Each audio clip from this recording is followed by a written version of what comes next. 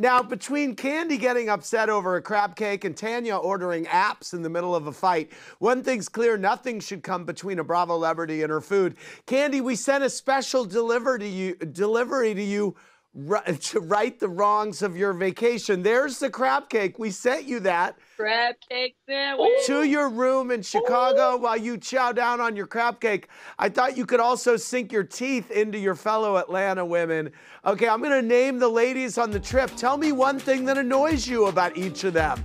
This will be fun. Oh, Porsha. Oh my God. Okay. One thing that would annoy me about Porsha is every time she says, blame it on the henny. I don't want to hear you blaming anything else on any or alcohol. No, that's a wrap. Okay. How about what we alcoholics do? Okay? what about Kenya? Kenya. Oh my gosh. I would say, oh, is okay. Anytime I say something or, or she be like, oh my God, you didn't have my back on that, she'll call me or text me off the show. And I'm like, girl, we can't debate everything that happens on this show. Like, it's not gonna work. Like, we can't talk about this stuff no more. It's done. How about Cynthia?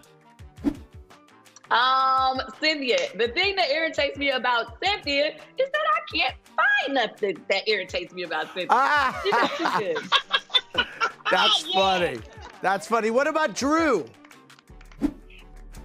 Oh my gosh. If I have to hear about Drew's ankle or her Achilles heel injury one more time. Too much, too much talk about the heel. What about Marlo?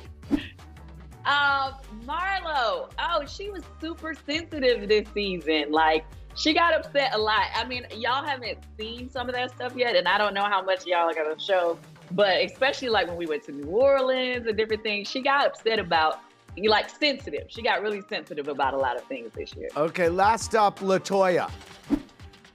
Um, Latoya. Okay, I'm mad at Latoya right now because she was supposed to come meet up with me three times and stood me up three times.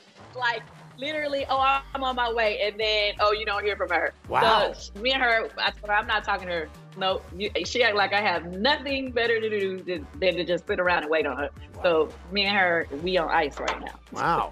All right. Thank you wow. very much, Kandi.